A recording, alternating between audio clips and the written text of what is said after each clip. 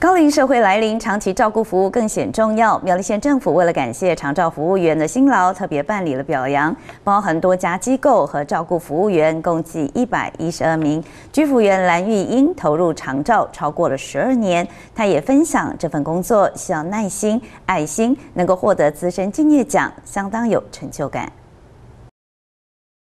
猫里有爱，幸福常在。表扬活动温馨感人，致力于长照服务的机构人员共一百一十二名获苗栗县长徐耀长授奖。我致力于呃，任提供本县县民长照服务，让县内县内的这个失能的长者、身心障碍者都可以呃，在自己熟悉、安心的社区在地的老化。好，这点再再次的表示感谢。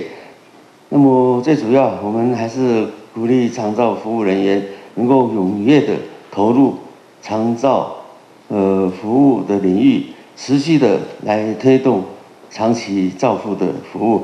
包含照顾服务员、居家服务督导员、居家长照机构、家庭托顾机构、家庭托顾辅导团、营养餐饮单位、交通接送单位、巷弄长照站都很重要。资深照服员蓝玉英也分享心得：要很有要有同理心，还要要有爱心、耐心，还有最喜欢最重要是你要必须要喜欢你的工作。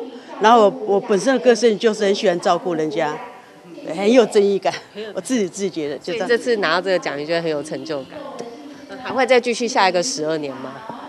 啊，呃，能力就是做到自己不能做的啦。我我就喜欢工作就对了，很喜欢照顾人家。长照人员面对受照顾者，需要极大的耐心和理解，也要适度的将情绪消化，让彼此能有良好的互动，正向发展。